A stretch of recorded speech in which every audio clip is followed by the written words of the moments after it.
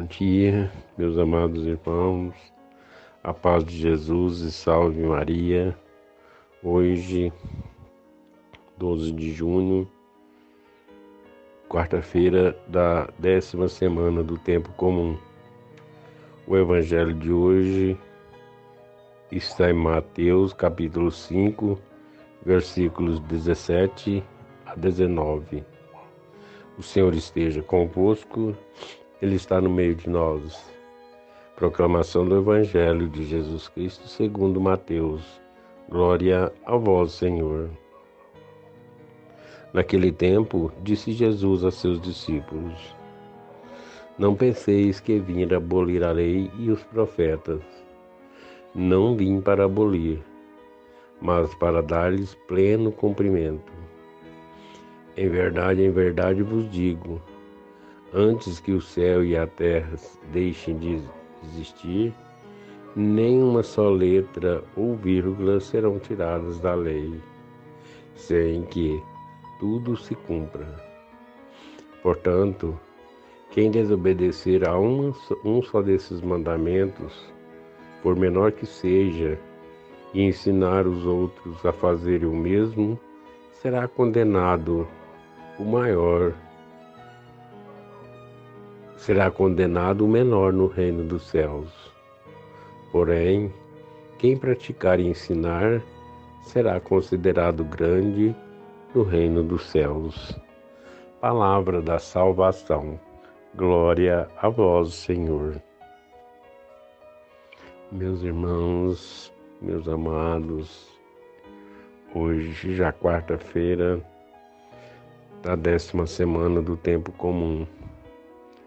Jesus, na sua caminhada, mais uma vez nos ensinando.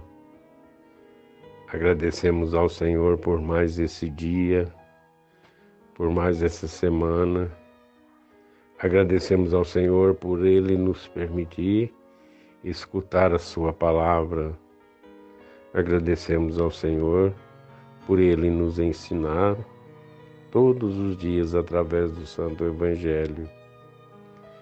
Agradecemos a Deus essa possibilidade e essa permissão, pois sabemos que se ouvimos é pela permissão do Senhor. Se escutamos a Sua palavra é porque Ele nos fala. E hoje, de maneira muito especial, Ele nos fala através de dessa parada, dessa passagem que eu sempre falo eu sempre mostro é, nas mensagens do Senhor que o Senhor sempre afirmava para as pessoas que queriam acusá-lo, sempre queria colocá-lo à prova. O Senhor sempre afirmava que não veio para mudar as leis. Ele não veio para mudar o que já existia porque as leis existiam e eram perfeitas. Ele diz: Não penseis que vim abolir a lei e os profetas. Não vim para abolir, mas, mas para dar-lhes pleno cumprimento. Olha que garantia mais bonita que o Senhor nos fala e que dá, nos dá a certeza de que ele liga o Antigo Testamento ao Novo. Ele faz uma, uma afirmação de que, contrário ao que pensavam, ele não veio para tomar o lugar de ninguém. Ele veio para reinar, reinar, mas reinar de uma maneira diferente. Ele veio para reinar com amor. Ele veio para reinar para o amor, não para tomar o lugar daqueles que aqui existiam e que o talvez usava, talvez não usava dos, dos, dos, dos seus dos seus lugares, usavam daquilo, dos seus postos, da sua posição para se beneficiarem, ou seja, usava da lei de Deus para se promoverem. E Jesus veio para mostrar que aquilo que eles faziam estavam errados. Ele veio para que eles mudassem atitude. O próprio Senhor continua dizendo: Em verdade eu vos digo, antes que o céu e a terra deixem de existir, nenhuma só letra será ou vírgula serão retiradas da lei, sem que tudo se cumpra. Portanto, quem desobedecer um só desses mandamentos, por menor que seja, e ensinar os outros a fazer o mesmo, será considerado o menor no reino dos céus. Olha que coisa que o Senhor sempre nos fala e de tamanha seriedade que nem uma vírgula, nem uma letra será tirada naquilo na lei que já existiam. Então, dessa maneira, ele nos afirma que a lei era perfeita, aquilo que já existia era o correto. O que não era correto, o que não era perfeito, o que não era certo, era a maneira pelas quais eram praticadas. Praticadas, como já dissemos, em benefício próprio. E o Senhor veio para mudar isso, mudar para que eles governassem com amor, com solidariedade, com gratidão, o contrário do que eles faziam. Por aí, nesse final desse parágrafo, ele afirma: quem ensinar os outros, quem praticar é as coisas erradas e ensinar aos outros a mesma coisa, será considerado o menor no reino dos céus. Porém, quem os praticar e ensinar será considerado grande no reino dos céus. Mostrando, queridos e amados irmãos, que as leis eram perfeitas, que aquilo que existia eram corretos.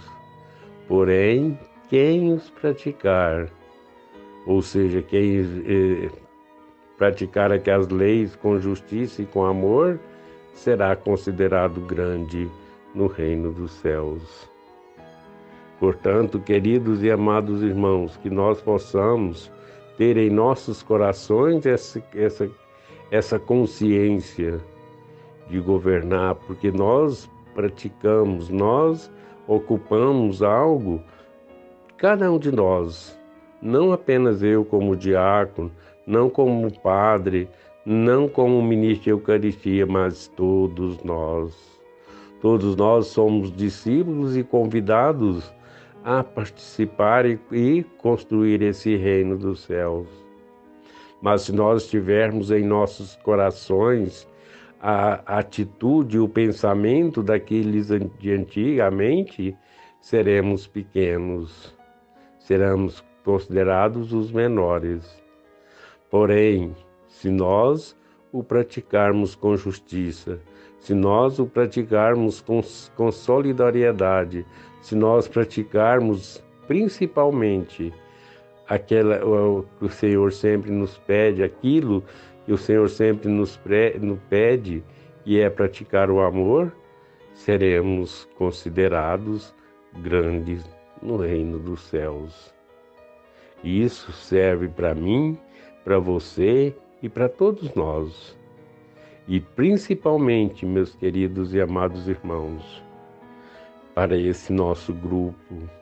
Esse nosso grupo que é um grupo de oração, é um grupo de intercessão, é um grupo de orar um para os, para os outros, orar por aqueles que pedem a cada um de nós Olha o tamanho, a responsabilidade que temos. Porque se nós fazemos parte desse grupo, não é pela nossa vontade, não é pela minha nem pela sua vontade, e sim pela vontade do Senhor que nos convidou. O Senhor que nos convidou a fazer parte de um grupo de intercessão, de oração. Portanto, queridos e amados irmãos, que nós possamos praticar com amor, com carinho e com solidariedade, e acima de tudo, com amor por aqueles que nos procuram, independentemente de quem seja, independentemente do que eles praticam, independentemente de como eles se comportam. Na verdade, se ele nos procura, é porque ele, eles querem as nossas ajudas. Por isso, vamos ensinar a ele o que é melhor, ensinar para eles o que é correto, ou seja, ensiná-los o certo. Assim fazendo, nós seremos considerados pelo Pai Celestial grandes no reino que Ele preparou para cada um de nós. Que Deus nos abençoe hoje e sempre. Louvado seja nosso Senhor Jesus Cristo, para sempre seja louvado.